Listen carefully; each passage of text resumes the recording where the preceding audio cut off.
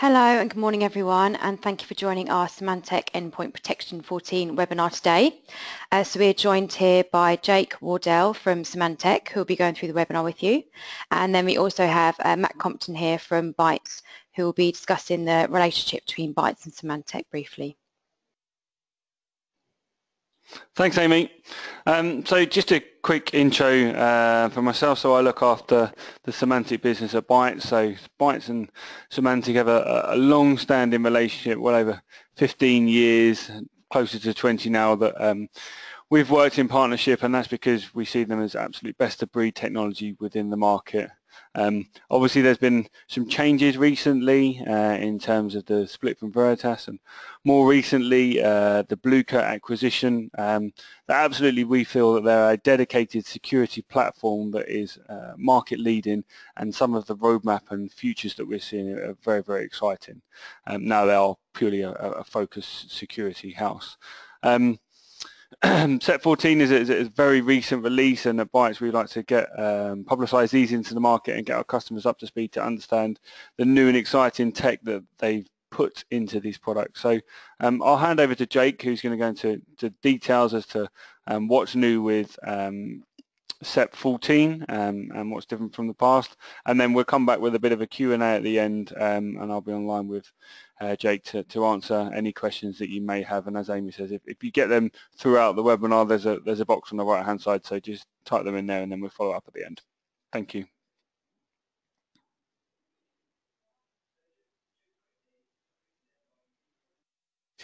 Excellent. Thanks for that, Matt. Good morning, everybody. My name is Jake Wardell. I'm uh, an information security consultant here at Symantec. Um, I've got a specialism uh, around a number of our product areas, with, with Symantec Endpoint Protection being one of them. Uh, so what I'm really going to do this morning is run through a bit of a deep dive into the, the technical functionality of Symantec Endpoint Protection 14, uh, the detection technologies that we've brought to bear uh, in the new piece, as well as covering, obviously, what the, the sort of traditional stack looks like that we've brought over from SEP 12 uh, along with the enhancements that, that 14 has brought with it as well. So what I want to do uh, is really run through, firstly, why we need to advance. Why do we need to evolve endpoint protection? Obviously, everybody years back would have had traditional AV, everything would have been signature-based, and that would have all been great. But when we start looking at the number of bits of malware that we're seeing, uh, so in 2015 we saw 430 million new variants of malware. So when we start seeing that kind of figure, signature-based detection is, clearly dead. Uh, but equally, uh, we need to be moved beyond even sort of normal behavioral heuristics, uh, as well as other types of technology. Uh, and we really need to bring a full stack to bear to be able to say, yep, we've managed to get the protection levels deep enough that we will discover those, those new variants of malware before uh, a vendor has even seen them. So typically we'll be dealing with uh, day dot kind of malware where we may be the first person to see it, but we need to be able to block that anyway. When we start looking at the, the number of zero-day vulnerabilities as well, there's a, a huge increase in these being discovered. So again, we need to be able to look at how we protect the applications themselves from, from malicious code. Uh, and, and I'm sure most of you guys on the, the webinar will be aware, but the, the huge increase in ransomware every single customer that I've spoken to recently has had either an outbreak or an attempted outbreak uh, of ransomware that they've then had to subsequently deal with. Uh, and the, the sort of cost of remediation for ransomware can be huge. Not necessarily from the, the paying the fine point, but actually then going out, uh, remediating, re-imaging machines, uh, and doing all of the other bits that uh, essentially are required to get the estate back up to a working uh, standard to ensure that productivity can continue. So what we need to understand really is the, sort of what we'll call the attack chain. How does the attack progress? Uh, so we can look at how different bits of our stack can match the different areas of the attack chain. So really we can provide that defense in depth model through a single agent. So typically malware will have an incursion stage at the start. Uh, the most common route still being email, but web type uh, traffic from drive-by downloads or, or watering hole attacks we're also seeing applications delivering it, uh, as well as people plugging in devices uh, that contain malware. So common one, somebody sticks in a USB stick, they've been using at home, home machine's riddled with malware, all of a sudden the USB stick is, bring it into the enterprise, uh, and then we've got an outbreak from that point. We then look at the infection. So what is the route to infection? Is it coming from a file? Is it coming from a macro? Is it coming from crypto type stuff? Or is it coming from a rootkit?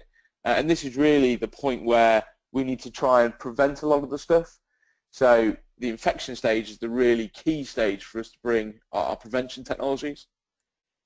We then have infestation. So as the, the malware uh, migrates across the enterprise and propagates, we need to look at how it's then moving across What's it trying to do? Is it trying to exfiltrate data? Uh, is it using command and control service to pull down additional malware? Uh, and we need to be able to look at what behavior is happening at the infestation stage and again limit the spread uh, and limit the damage caused by that. And then we have the inoculation stage. So being able to quarantine files uh, and endpoints uh, and remove uh, and then essentially fix and remediate any malware that did get through. So as we look through SEP 14, we'll start seeing uh, prevention across the first three stages, and then endpoint detection uh, and remediation uh, for the inoculation stage. So really we need to just understand that because of the multiple vectors and diverse payloads, we really need a comprehensive single product that can do the full stack. So this is just one quick little quote from Verizon from their data breach investigations report. But essentially, malicious software was involved in 90% of cyber espionage incidents in the year. So what we're seeing is malware is the, the precursor to a data breach, essentially. Somebody will come into the enterprise, they will infect the systems, they will then give themselves access, uh, and using that access and leveraging that, then they can start exfiltrating data, which they'll typically do in an encrypted fashion to make it very difficult to see at that point. So the earlier in the attack stage that we can find that, the better.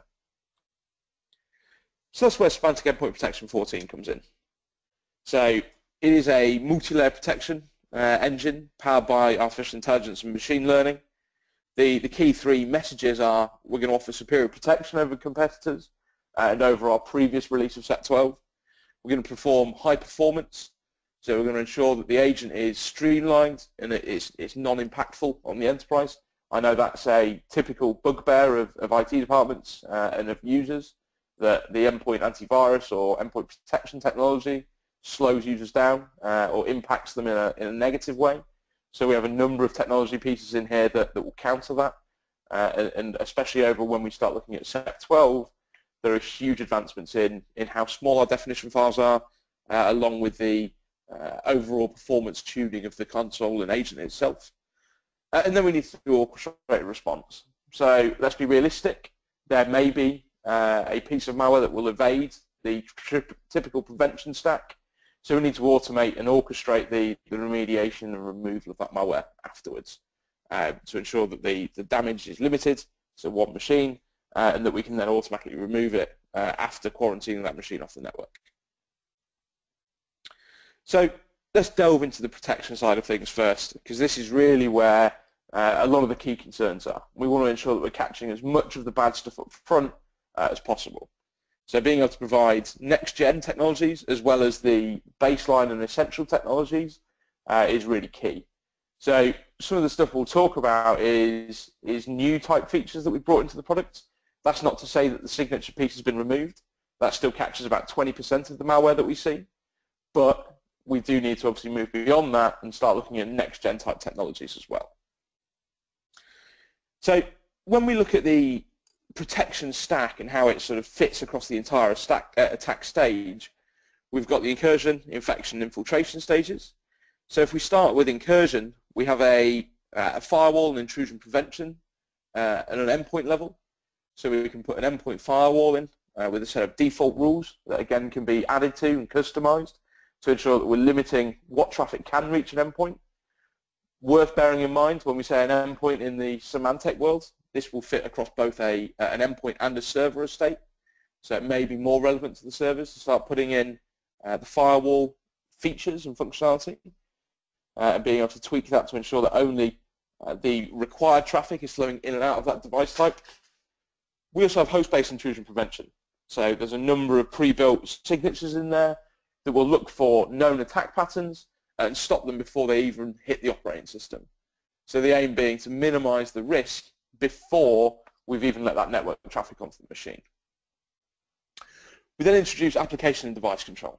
So being able to restrict what applications run on the machine, being able to do application whitelisting and blacklisting, uh, as well as doing device whitelisting and blacklisting. So for example, if we realize that USB sticks are a threat to the organization, we can limit them uh, and we can say, nope, we don't want any USB sticks. Or we can be more granular and say, we don't want any USB sticks except for these 10 that we know IT use uh, for their day-to-day -day work. And we can define those by serial number and allow those to be used uh, as they would be. Um, but again, restrict any other unauthorized device from being plugged into the machine. We then move into memory exploit mitigation. So looking at zero-day exploits in, in popular software. So at the moment, we have a, a, supported list of 20 of the most common bits of software that you'll find in, in an organization. Uh, and we have uh, essentially hardening and, and, monitoring rules that sit around those to ensure that we are uh, not allowing them to write things to memory or do other exploits that could be triggered against them um, that would uh, in turn compromise the system. We then have reputation analysis. So this, this point is really important for, for Symantec. Symantec overall has 175 million endpoints uh, protected under the Symantec Endpoint Protection product. And essentially a lot of those are feeding back telemetry to Symantec.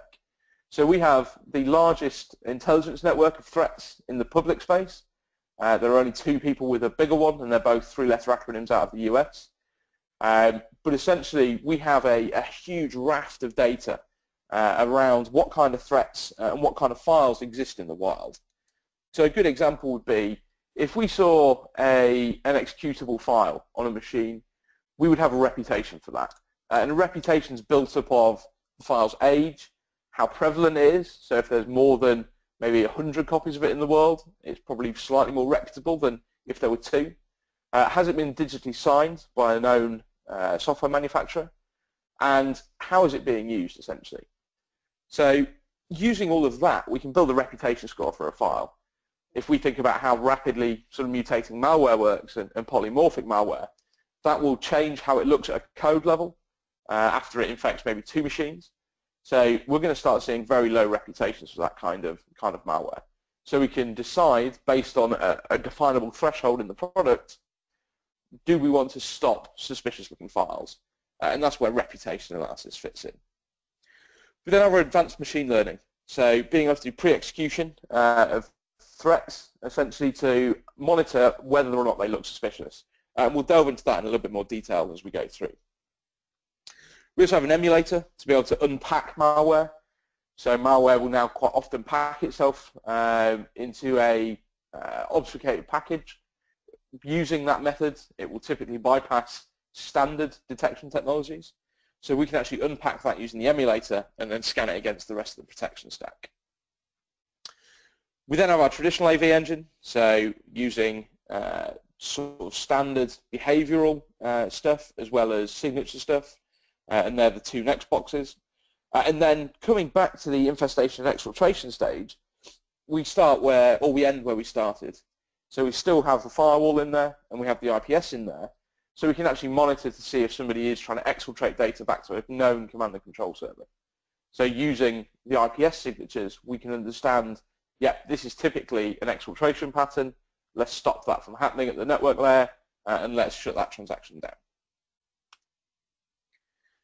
So drilling into a couple of those, and these are the predominantly new technologies uh, in SEP 14 over SEP 12, uh, and this is what we'll define as our being sort of next-gen technology, uh, and this is where we've had to evolve the product to, to ensure that we capture the next X percentage of malware. Um, so the first piece is advanced machine learning. So being able to look for unknown threats and that mutating malware again by essentially collecting malware uh, and collecting files on a machine and putting it back through a training algorithm.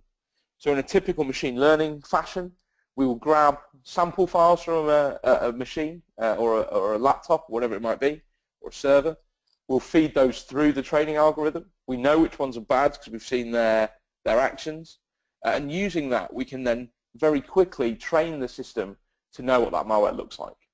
Uh, and that can happen either on the client or in the cloud. So we have obviously our large intelligence network that helps feed this information.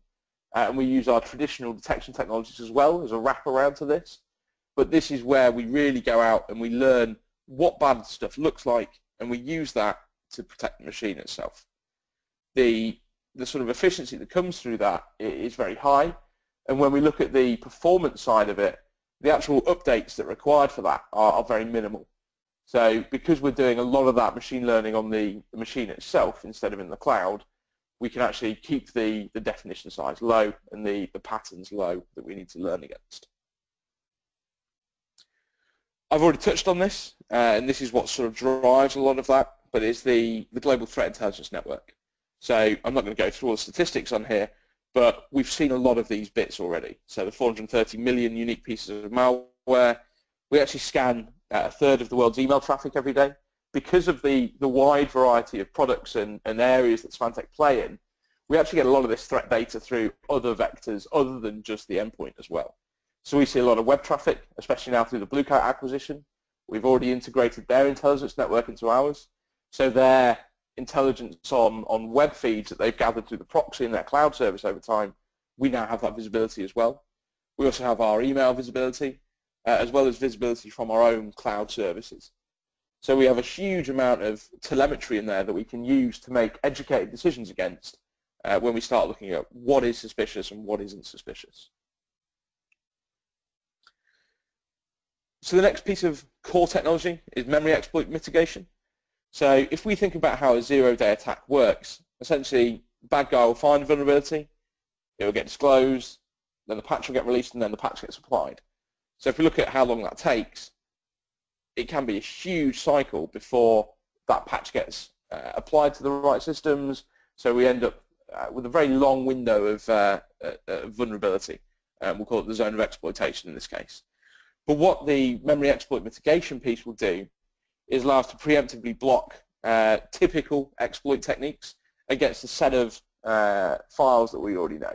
So a set of applications that we already know, we've managed to put together um, a list of known exploit techniques that we used against them so we can start looking at how we would go about doing that. Uh, and that works in a completely signatureless manner. Um, so we can start looking at whatever type of flaw or vulnerability we find in the application. We're essentially running that application in a, in a hardened state so that the exploits cannot be run against it. So we remove that zone of exploitation by essentially protecting from day dot or actually day minus one before the attack can ever be even conceived. So emulation capability. We've already talked about being able to unpack malware. Um, the malware will arrive, it'll be in an executable file, it'll be then packaged within that executable. Essentially what we're going to do is run a lightweight virtual environment, unpack that, look at what the payload looks like, scan the payload through the traditional stack, uh, through the rest of the, the next gen stack as well, uh, and to establish whether or not that's malicious. So essentially all we're doing is unpacking in a virtual uh, environment uh, and then scanning the payload uh, and the actual contents of the executable fully to ensure that we capture everything that might be going through there. We talked about file reputation analysis at a high level, but essentially we're using that age, frequency, uh, and that location to work out whether or not a file is good. Uh, and as I said before, we can actually set thresholds for this. So the typical use case that I use for that, and, and no offense to any salespeople who are on the call, salespeople will typically go out to the internet uh, and download whatever they want. They're, they're not as risk savvy. They're not as aware of what the problem might be uh, with downloading just a file from a website.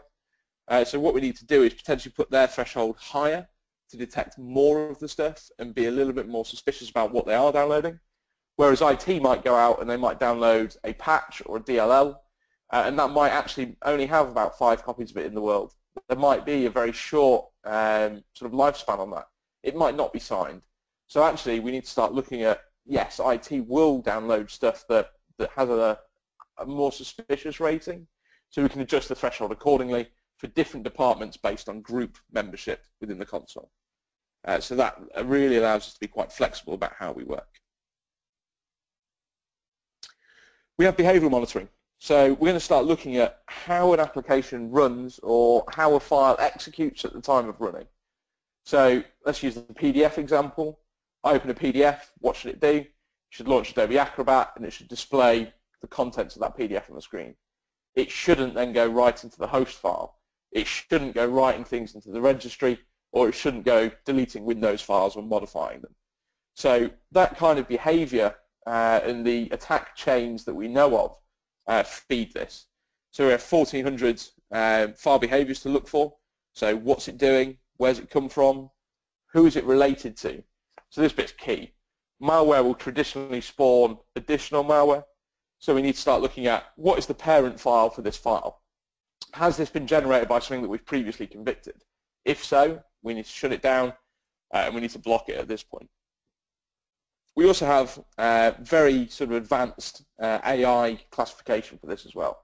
So instead of us having to manually author these detection chains uh, and, and, known attack vectors, we can actually just use the AI-based stuff using, again, the GIN to actually put that together uh, and understand what a traditional attack will look like. Uh, and using that, we can create automatic signatures for this. So that's the protection stance. So we've obviously looked at the, the full raft uh, of what we're going to use to detect against malware. But what we really need to understand is how that works and how that performs. Obviously, that's a, a very large-looking stack. So what we need to be able to do is understand how it's managed uh, and how that actually works from an endpoint perspective. So essentially, we have a single management console and we have a single agent approach. And it's a single lightweight agent that will sit out It'll pull down minimal definitions because it's now relying heavily on some of the, the more sort of advanced features that are less signature based. Uh, so we can actually then protect uh, that endpoint without impacting the user or impacting the business itself.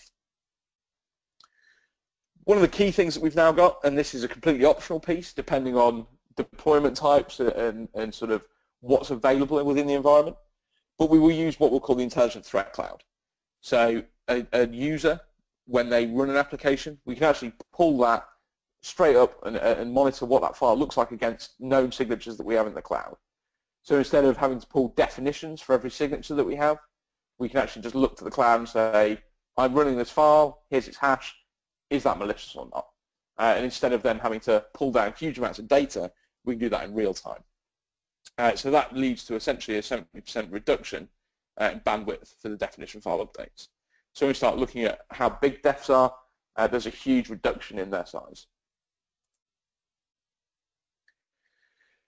So this piece uh, really sort of speaks to why we look at using a single agent. So I've spoken to a lot of companies recently that have gone, yeah, we've got an anti-malware technology. We're using McAfee on the endpoint, for example.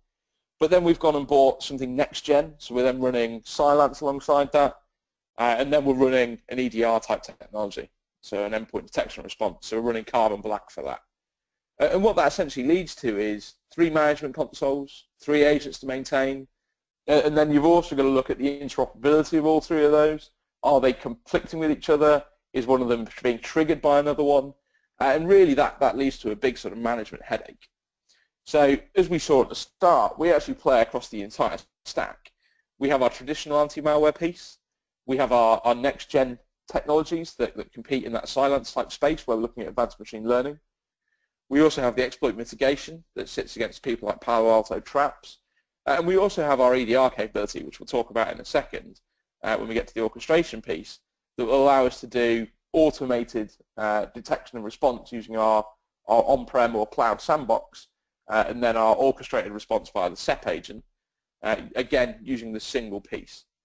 So when we look at how we can actually do it, we can just bring the Symantec endpoint protection agent out, use one agent for all four areas of that, uh, and in turn really reduce the cost of ownership, uh, as well as reduce the cost of management and the, the, sort of overall headache that comes with managing multiple products. So let's talk about orchestrated response. We've touched on it there, uh, but let's work out how we then remediate. So if malware does get into a machine, or a machine does become compromised, how do we look at the inoculation phase? How do we stop uh, the malware propagating? How do we clean it off the machine and ensure that that machine is then secure and ready to go back onto the network at the end of the day? So we have a number of technologies, uh, and a lot of these came through from SEP 12, but Power Eraser is a very, very aggressive remediation tool. Uh, what it will do is it will essentially look for infections at the point of booting so the machine will get rebooted uh, and as soon as it starts to load the operating system, we'll start tying in at that point and looking for where the malware is residing. Uh, and at that point, we can rip it out. We have host integrity. So actually, this really speaks to being able to do uh, compliance and ensuring that our machines are up to date. So let's use the use case of uh, guy takes a laptop out into the field, doesn't come back into the office for four weeks. He hasn't connected his laptop to the internet in that time. Essentially, the risk at this point is that his definitions are out of date, his AV's out of date, and everything else. So what we can do using host integrity is quarantining him off the network, so he comes back into the office, plugs his laptop in. We won't allow him onto the network until his machine has downloaded definitions from the internet. So using the firewall component, we'll say, okay, all network traffic except for the live update service, which is where our definitions and, and updates get pulled from, will be disabled. So you can download the updates, and once they're in place, we'll remove the quarantine and allow you back onto the network. So that's a, a really effective way of ensuring that machines are up to date and compliant, and at the same time that the, the rest of the organization isn't subjected to the risk that that one machine uh, is introduced. We then have system lockdown, so looking at application control. So being able to do that whitelisting and blacklisting of applications on the endpoint to ensure that essentially the machines that are on the system are uh, secured. So we can use this as a response rule. So if for all of a sudden we find a bit of malware on a machine, we can instigate system lockdown. That will essentially restrict the, the list of software that can run on that machine to only critical systems or, or systems that are required by IT for the cleanup process. Uh, and that will essentially mean that the malware then can't infect uh, file shares or it can't suddenly jump into your uh, other applications, so CRM systems, for example, and start exfiltrating that data. So it can really restrict what starts running in the event of a, of a malicious outbreak. The next point talks to the secure web gateway integration. So this is to use the Blue Coat Proxy SG uh, as the secure web gateway and an integration with that. So really what we can do now is we can start talking between the two. So since the Blue Coat acquisition uh, at the start of August, uh, just trying to remember when that was, uh, we've already done a number of close-knit integrations between products. So if, for example, we see a bit of malware at the endpoint, we will automatically talk back to the, the web gateway, say, we've seen this come through, this is what file it was, add that to your blacklist. So the two will talk between each other to establish what files should and shouldn't be trusted. So if one sees a bit of malware that the other one hasn't, the two will interoperate and they'll communicate with each other to ensure that actually that bit of malware is known by both. So that in future, when that comes through, we know that we can block it at the gateway rather than letting it through to an endpoint. Uh, and that was always the story that uh, a lot of vendors uh, have missed out on. Uh, and this is where, because Symantec, we have the full portfolio, we actually have that operation uh, and sort of interoperability between products that allows us to do that kind of integration. Uh, and then the last point is our is our EDR capability, so our endpoint detection and response capability. And that comes through uh, an additional piece of the puzzle called Advanced Threat Protection Endpoint, or EDR Console, as it's more commonly known. Uh, and essentially what that's going to allow us to do is orchestrate responses. So if we come through to here, we've already talked about that bit. Okay, find have a slide there. But essentially, what we're going to be able to do with the EDR capability is once we run a file on an endpoint, if it clears the traditional detection stack but looks slightly suspicious, we'll offload it to our ATP capability. What that will then do is run it in a sandbox, and that will run it in a sandbox that allows us to work out whether or not that's malicious. So we'll monitor the full behavior, and we do what we call user emulation during that process. So we can establish uh, what does it do when a user opens and closes it three times, what happens in 10 minutes time, because a lot of the malware writers, they've got, they've got quite smart and they've got savvy to the idea of traditional sandboxing, uh, and they'll write things like time gates in there so that things don't uh, effectively detonate until 10 minutes after they've been first run, uh, or they don't uh, operate until somebody's closed the window or until somebody's done something with the file. So we do user emulation. We can sort of effectively reenact the sort of traditional things that a user would do that would then trigger that malware. Uh, and if at that point we discover there is something wrong with it, then we can discover uh, and we can orchestrate a response for it. So once we've discovered it, we can tell the endpoint protection agent your machine is now potentially infected. You haven't seen it with the traditional stack, but let's get it cleaned up. So what we'll then do is automate a quarantine. So we'll pull that machine off of the network using the firewall. The only thing that we can then talk to it is the endpoint protection console. What we can then say is, okay, we found this file. We know what it looks like. Let's uh, essentially turn it off. Let's let's remediate.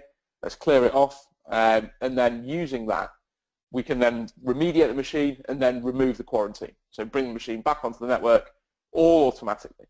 So we can orchestrate that whole end-to-end process for remediation to ensure that the endpoint is, is completely clean. So that's where the EDR capability fits in as well. So coming back and just to summarize uh, before we open up for questions, we're really looking at this next-gen protection technology and enhancements thing for, for SEP 14. So machine learning, we've talked about, but it really comes down to pre-execution detection. The application protection side of things, through memory exploit mitigation, being able to look at vulnerable apps, so that there are certain vulnerable apps that we, we know everybody uses, uh, and they're the ones that we've gone for protecting first. We have the emulation to look for anti-evasion techniques, so being able to unpack malware from within an executable. We have the intelligent threat cloud, so being able to do that really sort of large drop in definition sizes. We have the performance enhancements for, for faster real-time detection. So that all comes through being able to use machine learning and, and memory exploit mitigation much more. We have the integrations. So we've already talked about the, the integration to the SG, the proxy SG, uh, as well as to our EDR side of things. Uh, and that's where our enhanced automation comes in. So being able to do automatic remediation uh, and response. So finishing up, uh, and there are a number of reports that I'm sure the guys at Bytes can share with you, but Symantec is uh, consistently outperforming uh, other products in the class. We are outperforming from a detection point of view and from a false positive point of view, people like Cylance, uh, as well as all the traditional vendors that we'll have seen in the in the market.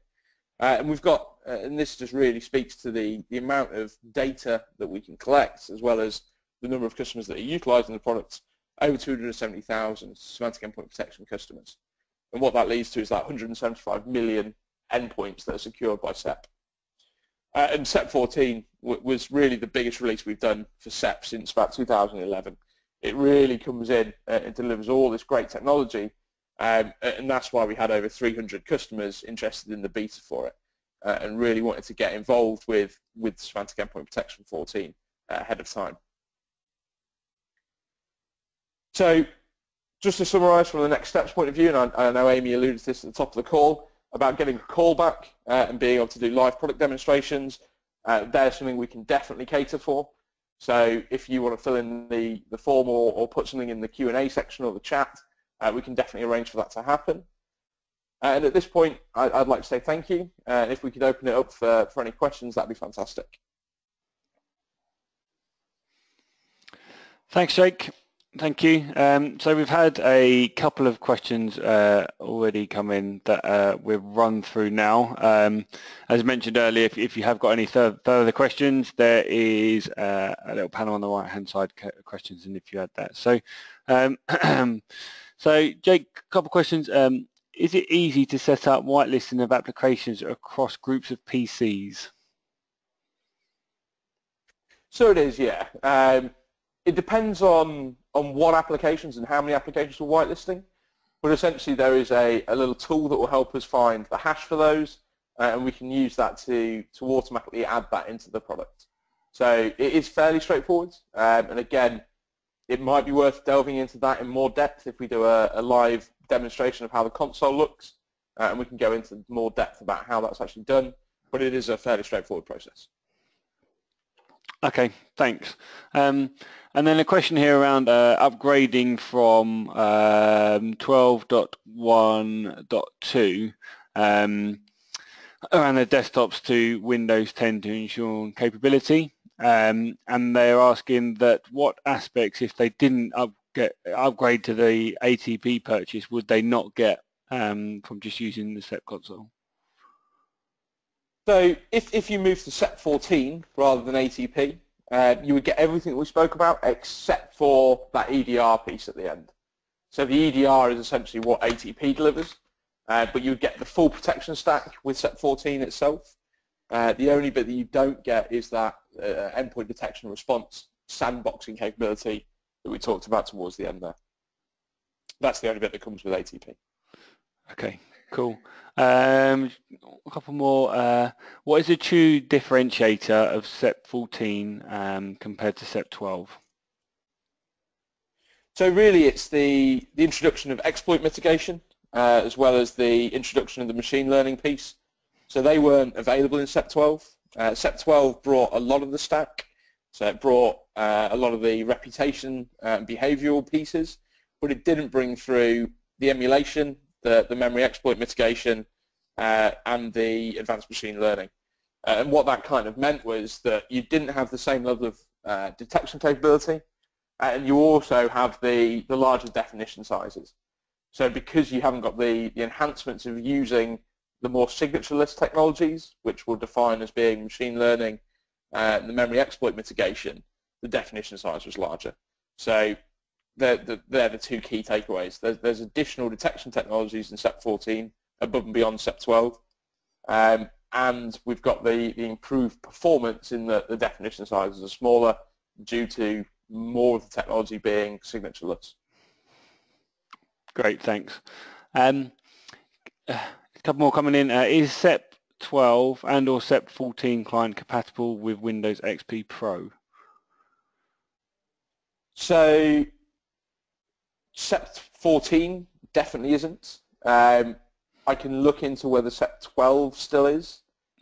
Uh, yeah. But we'll have to take that one offline because I can't recall the, the supported list off the top of my head, I'm afraid. Yeah, that's fine. We're, uh, we'll come back to you, uh, David, with uh, details and compatibility list.